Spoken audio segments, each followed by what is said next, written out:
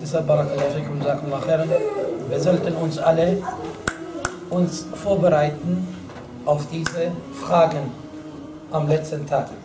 Weil Allah subhanahu uns danach fragen wird. Und jeder von uns sollte sich jetzt diese Fragen stellen. Weil wir, wenn wir uns diese Fragen stellen, dann könnten wir, solange wir am Leben sind, das ändern. Aber wenn wir gestorben sind und wenn wir vor Allah stehen, dann können wir das nicht ändern. Deshalb der Schlaue, derjenige, der denkt, ist derjenige, der heute sich Gedanken macht, wie er diese Fragen beantworten wird am letzten Tag. Und wie kann er das auf seinem Leben das Beste machen und wie er natürlich auch in diesem Leben agiert, dass er diese Fragen beantwortet. Dein Wissen hast du gelernt, hast du versucht, den Islam richtig zu verstehen oder hast du das nicht getan? Dein, dein Vermögen, woher hast du dieses Vermögen bekommen? Hast du das durch Halal gewählt oder durch Haram gewählt? Wie hast du das verbraucht, dein Vermögen?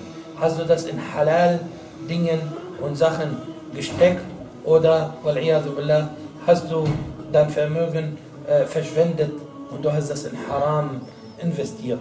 Und dann dein Alter, die Zeit, Barakallahu. Die Zeit.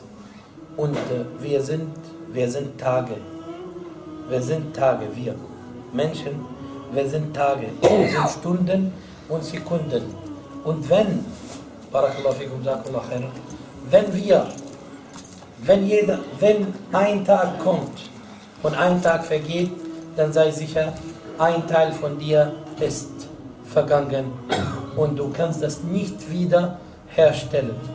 Und wir laufen oder wir gehen, wir laufen in Richtung ein Ziel und wir laufen zu Allah subhanahu wa ta'ala.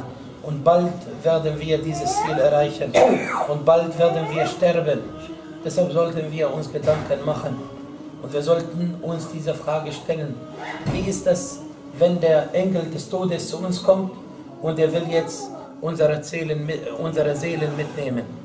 Sind, sie, sind wir eigentlich vorbereitet auf diesen Moment? Haben wir äh, das verstanden, dass unsere Atemzüge gezählt werden? Allah zählt für uns diese Atemzüge.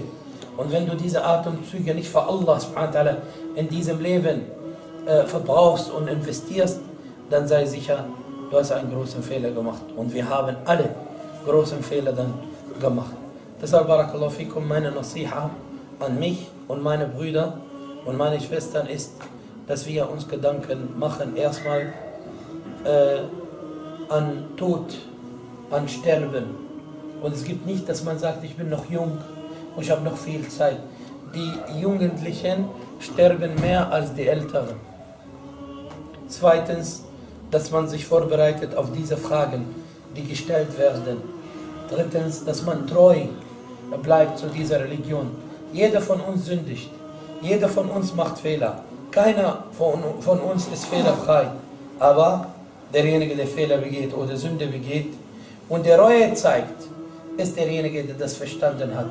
Aber derjenige, der sündigt und der weiter sündigt und der weiter sündigt und der zeigt keine Reue, er hat, er hat den Sinn nicht verstanden, dass Allah subhanahu wa uns Zeit, Schub gegeben hat, damit wir vielleicht uns überlegen. Und dann, ich sehe, dass die meisten, die hier sind, die sind Jugendlichen und die sind junge Leute. Investiert eure Zeit und investiert diese Zeit. Wallah, nach ein paar Jahren, wenn Allah uns Leben gibt, dann wird man das bereuen, dass man viel nicht getan hat. Schau mal, wenn du jetzt 20 bist und du lernst jedes Jahr ein Kapitel vom Koran, inshallah, nach 10 oder 15 Jahren, inshallah, hast du den ganzen Koran gelernt. Jetzt, du bist vielleicht 15 oder 20, dann nach, nach, nach 15 oder 20 Jahren hast du sehr viel erreicht. Sei nicht von den Leuten, die nach 20 Jahren sagen würden, vor 20 Jahren hätten wir angefangen. Du kannst heute viel leisten. Morgen wirst du älter und du wirst nicht viel leisten können.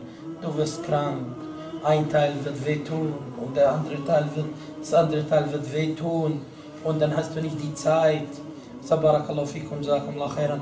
Meine Empfehlung ist, dass wir mit uns abrechnen. Mit uns selber abrechnen. Und dass wir etwas verstehen und verinnerlichen. Diese Dunya ist vergänglich und das wird nicht bleiben. Und wir vergehen. Aber was für uns bleibt, ist diese Werke und diese Taten, die wir gemacht haben. Und das Letzte ist, sei nicht von den Leuten, die sündigen und dann sagen sie, Allah wird mir verzeihen. Sei nicht von diesen Leuten. Sondern sei von den Leuten, wenn die sündigen oder wenn sie Fehler machen, die beeilen sich in der Reue und die wirken für Allah. Barakallahu fikum wa jazakumullah khairan. Möge Allah subhanahu wa ta'ala von uns allen annehmen.